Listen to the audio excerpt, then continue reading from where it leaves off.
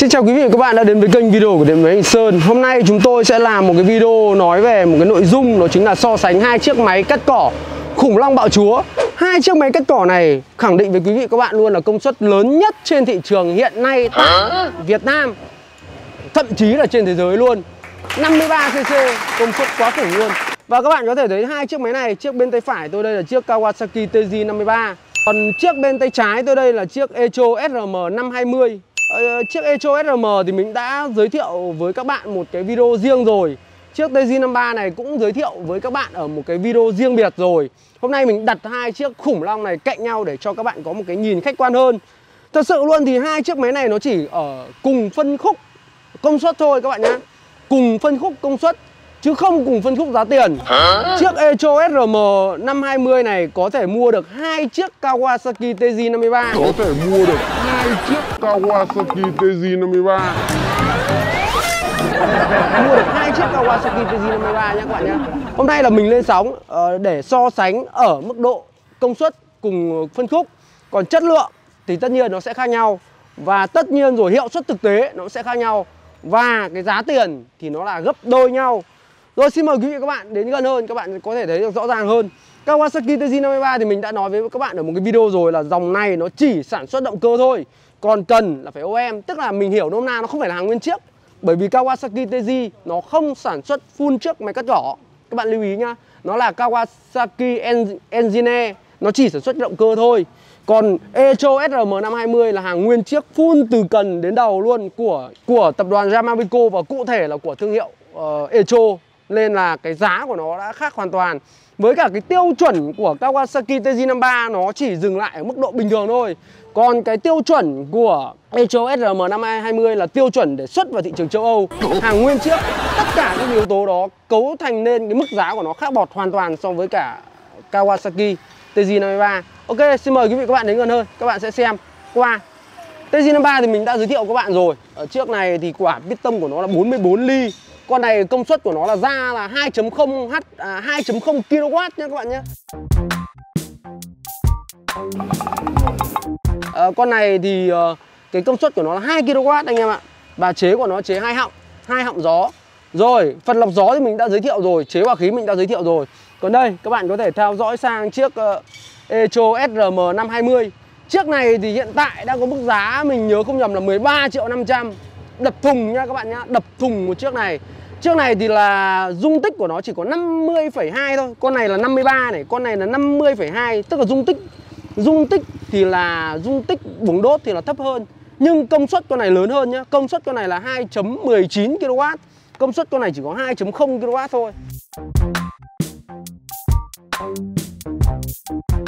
Anh em hiểu không?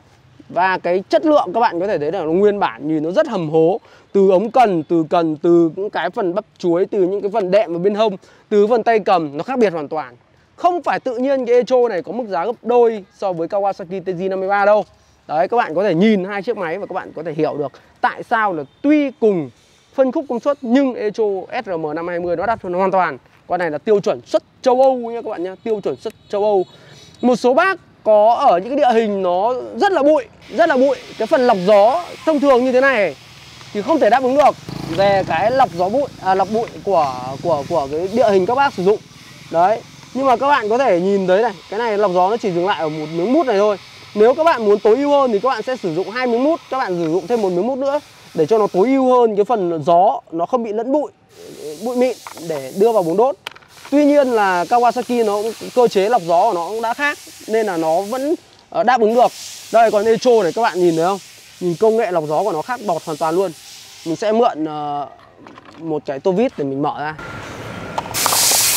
Ok. Các bạn có thể thấy được mình tháo ra cái lọc gió của con SRM520 này. Này, có một lớp mút này. Mút, cái mút này để lâu quá này nó bị mục luôn. Vì con này là mình nhập miếng nhựa này rồi các bạn thấy lọc giấy này nó có một lớp lọc giấy nữa này. Kín mít thì mịt luôn này. Rất kín Nên là cái hỗn hợp uh, gió họ lọc cực nó lọc vào cực kỳ sạch. Cái miếng này bằng nhôm luôn này anh em này Bằng nhôm luôn nhé. Đấy các bạn thấy không? Nhìn về bên uh, bên lốc này Các bạn thấy không? Bọc che kín luôn bảo vệ phần lốc này Cả những cái miếng nhựa này bọc che kín phần lốc. Rồi là phần bảo vệ giữa phần bình ờ, bình xăng này cách nhiệt luôn không cho nhiệt tỏa xuống phần bình xăng rất là an toàn. Và các bạn thấy cơ chế ờ, cái chế hòa khí của nó khác đọt hoàn toàn luôn. Chế hòa khí của nó dạng như kiểu chế của cưa ấy. Các bạn có thể nhìn những cái chế cưa 5002 ấy nhìn cũng giống hệt chế à, giống hệt chế của con này luôn. Chính vì vậy tua vòng con Echo này lên cực kỳ nhanh luôn. Chạy ga gắt và tiết kiệm nhiên liệu hơn những cái dòng chế ngang thông thường mà các bạn hay thấy sử dụng ở những cái dòng máy công suất nhỏ. Đối với những cái dòng máy công suất lớn này thì nó làm bao giờ cũng sẽ phải tối ưu hơn rồi các bạn có thể thấy được này nó có chế độ có những cái cơ cấu giảm rung này ở những cái chốt bằng cao su này giữa các cái phần uh, miếng nhựa ôm phần ống cần này cực kỳ chất lượng luôn. Đầu bò rồi các bạn thấy những phần bắt tay cầm nhìn nó khác bọt luôn này chỉ bằng quay bằng tay luôn mà cũng cực kỳ chắc. Đấy, ống nhôm cực kỳ dày đầu bò nói chung là tất cả nó tạo lên một cái mức giá rất là khó để tiếp cận ở thị trường Việt Nam thực sự luôn, bên mình bán thuộc loại tẩm marketing thuộc loại tốt mà một năm bán được khoảng tầm 10 con này, đó là kỳ tích rồi anh em ạ. Bán thì mình nghĩ đâu đó trung bình chỉ tầm 6 đến 7 con thôi. Kỳ tích rồi đấy, chứ không thể. Còn đối với những đơn vị khác mình khẳng định luôn không bán được những dòng máy này cơ. Vì ở Việt Nam mình các bạn nói xem, tài chính chúng ta còn hạn hẹp và có nhiều lựa chọn thay thế. Không ai người ta bỏ ra đến 13 triệu 500 để mua một cái máy cắt cỏ. Trừ khi những người có có điều kiện và quá hiểu và cần những cái máy mà hiệu suất thực sự cao và những người đấy biết dùng máy thì người ta mới dám đầu tư ra những cái máy này. Còn ở Việt Nam mình 99 người. Không phải 99 người mà 1.000 người sử dụng máy cắt cỏ thì chỉ có, chắc là chỉ có một người dám bỏ ra tiền mua những cái máy máy như thế này mà thôi. Đó thì các bạn có thể thấy được hai chiếc mình đã đặt cạnh nhau. Rồi tất nhiên ưu điểm có thì tất nhiên cũng phải nhược điểm có. Echo SRM 520 nó không dành cho thị trường Việt Nam bởi vì to. Thứ hai, công suất nó các bạn dùng dư. Thứ ba nữa, giá thành đắt. Thứ tư nữa là chi tiết linh kiện, phụ kiện các bạn mua cực kỳ khó sau khi sử dụng cực kỳ khó nhá. Đa phần sẽ phải order từ nước ngoài luôn. Phải order từ nước ngoài hoặc order từ bên hãng thì các bạn mới có thể mua được. Còn Kawasaki TJ53 này sản xuất ở Trung Quốc nên đồ các bạn sử dụng sau nó rất là sẵn và dễ thay thế. Bù lại thì cái đồ này nó sẽ lâu hỏng hơn. Cái đấy là rõ ràng nếu các bạn biết sử dụng bảo hành, bảo trì, bảo dưỡng nó đều đặn. Hàng ngày thì mình tin chắc rằng không phải tự nhiên Echo SRM nó trở thành một cái biểu tượng của Echo luôn. Đối với cắt cỏ Echo nhá Thì SRM 520 là chùm cuối rồi trên thế giới luôn chứ không phải nguyên thị trường Việt Nam.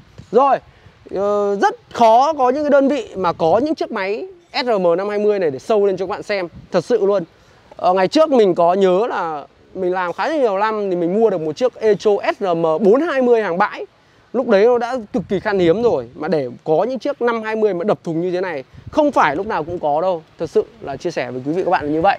Rồi một lần nữa thì cảm ơn quý vị các bạn đã quan tâm và theo dõi. Mình đã đặt hai chiếc máy uh, thuộc loại top khủng long công suất gần như lớn nhất tại thị trường Việt Nam cũng như trên thế giới hiện nay để cho các bạn có những cái nhìn, những cái góc nhìn, những cái so sánh và hiểu tại sao Echo 520 SRM nó giá khác hẳn so với Kawasaki TZ 53 mình làm video này để cho các bạn có thêm những cái sự tham khảo thôi Còn thực sự luôn là Echo 520 nó gần như là không phù hợp với đa số người tiêu dùng Việt Nam Vẫn có thể có những bác dám chơi Thì đó là số rất ít rồi nhớ đăng ký like, subscribe kênh và chuông thông báo liên tục cập nhật những video mới nhất. Xin chào và hẹn gặp lại quý vị các bạn ở những video sau.